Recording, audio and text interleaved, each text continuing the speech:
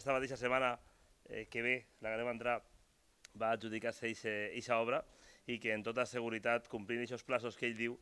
començarà una de les obres més importants per a un poble. Jo diria que l'obra més important per a un poble. Perquè un poble és el que és gràcies a que la gent pugui arribar fàcilment i còmodament i tots coincidíem, i així ja ho vam dir, jo vaig assumir el compromís, recordo ara fa algo menys d'un any, en un acte que teníem en el, en el museu, en el que es firmava eh, un acord eh, per a potenciar aquest parc cultural de, de la Valltorta. Vaig assumir el compromís de que la Diputació anava a prioritzar al màxim la carretera de Tirits i bueno, pues al final les coses eh, sempre a un li agradaria que anaven un poc més a pressa, però eh, no poden anar tot lo de pressa que se vol, l'important és poder-les executar i poder-les fer i estic absolutament segur que no només començaran en el mes de setembre, sinó que es començaran en la velocitat que després els cotxes podran agarrar per arribar fins ací una vegada la carretera estigui, estigui, estigui acabada.